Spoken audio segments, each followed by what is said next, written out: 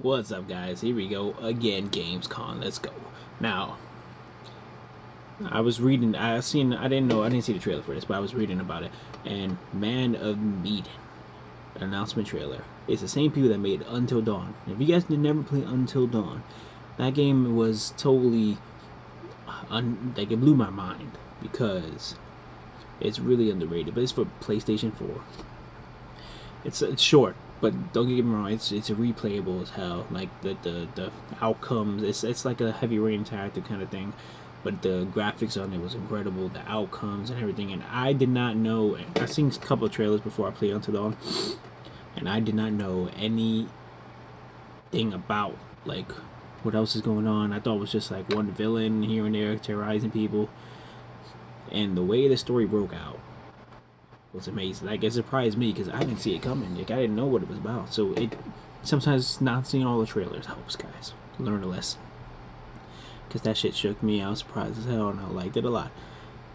But these are the same people that made that. So hopefully they said they want to do another horror. They want to do a horror anthology game series. So let's see if they could.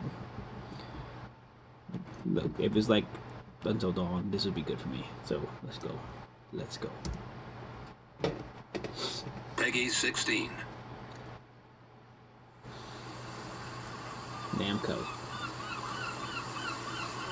Never been down there before. Down. Diving. From the developers Until Dawn. This Okay. is Alex. What's up, man? Conrad. Hey. Finally meet you, Conrad. It's Brad, by the way. My little bro. So is everybody on board and ready to go? Who to find some sunken treasure? You good? More or less. What do you know about this wreck? Just rumors. It was insane. It was like traveling through time. Should have never gone down to that plane in the first place. Oh, damn. Every single thing you bring back has an essence.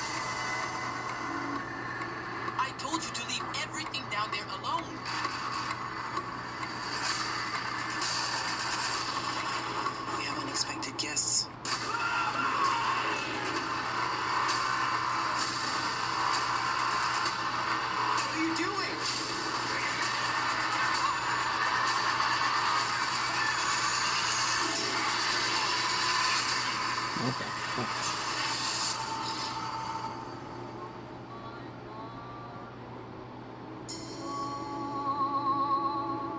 Alex? Julia? Guys!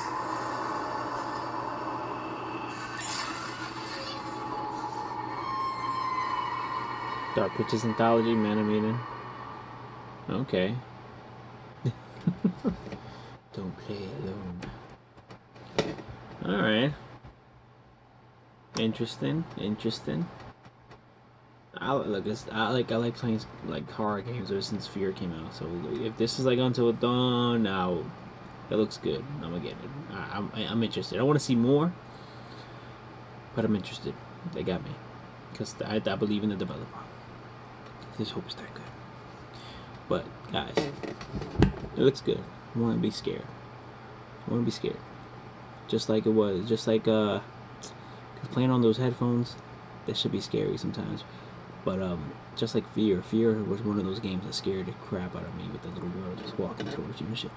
That shit was bugged out. But it was great how they used it with action. Like it was just one of those titles that died out, but will always be remembered for what it was. You know, they did good with that game. But for now, let's keep going and moving on on this game's Gamescom